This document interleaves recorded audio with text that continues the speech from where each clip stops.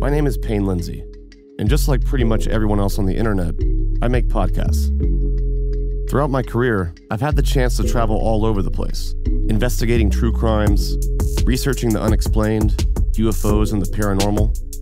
And through all this, I've been able to meet some of the most truly interesting people, and I've decided to sit down with them and pick their brains.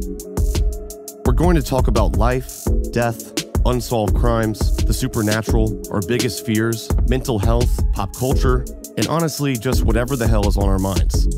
We all have a thing or two to learn from each other, and I found the best way to do that is through raw, open minded conversations.